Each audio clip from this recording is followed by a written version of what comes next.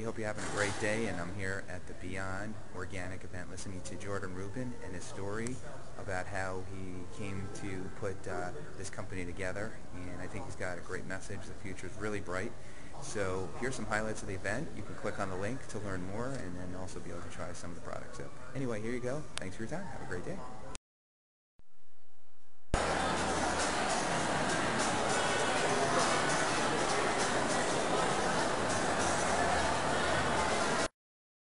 Rhine is going to be the bottled water that's available uh, with Beyond Organic.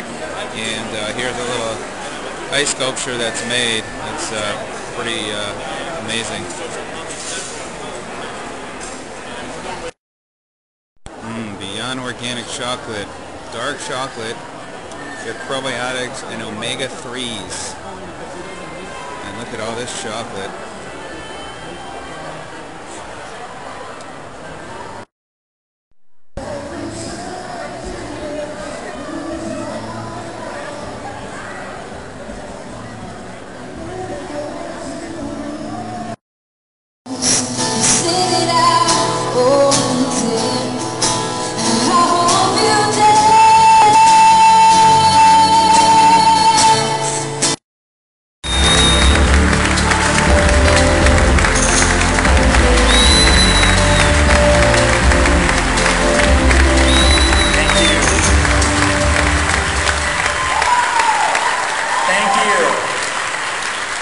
This is definitely going to be an exciting evening.